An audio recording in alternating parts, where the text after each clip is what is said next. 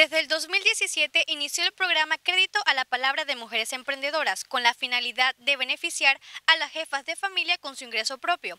Hoy decenas de femeninas recibirán el apoyo, pero veamos en qué invertirán el recurso recibido. Eh, estoy muy contenta porque realmente ya voy a hacer el proyecto que he querido, que es el de la carpintería. Y pues ahorita que empieza esta temporada navideña, voy a empezar con esto. Sí, eh, relacionado más que nada vamos a ir a los tianguis a vender, este, ¿cómo se llama? Eh, pinos de madera pintados. Sí, para eso es lo que nos va a servir.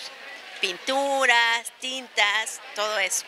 Pues muy contenta, muy feliz. Pues yo como vendo de por sí en un triciclo, así chicharrones, todo eso, pues es lo que voy a hacer. Pues sí. Y como hago mis tejidos también, hago así gorritos, suéteres, chales, cosas para el frío, pues es lo que voy a comprar para que yo pueda, mi material para que lo pueda hacer.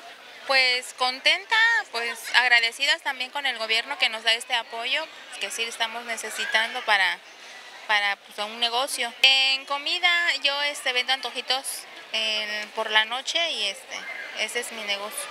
Bien, Ah, bueno, yo tengo un negocio de chamoyadas y saborines y ahí lo invierto. Eh, muy bien, porque vaya, después de tantos años de andar luchando para que alguien te tome la palabra y te tome en cuenta, de poder apoyarte.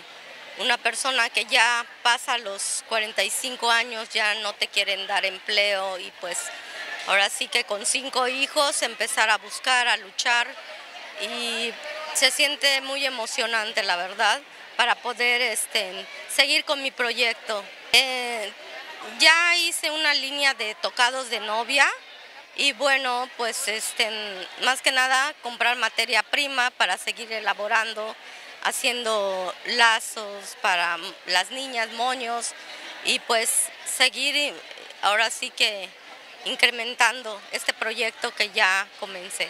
No, pues muy, muy satisfecha porque más que nada sí lo necesito ahorita, porque ahora sí que me hace falta para invertir en, en, mi proyecto que yo tengo. En materia prima y utensilios porque yo hago repostería, entonces no tenía utensilios como para hacerlo bien.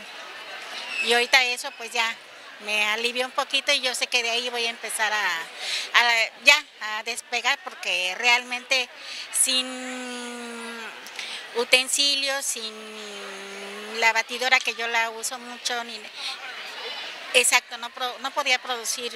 Pues contenta. Voy a hacer mi propio negocio. ¿Cuál es su negocio? Vender comida, vender condimentos.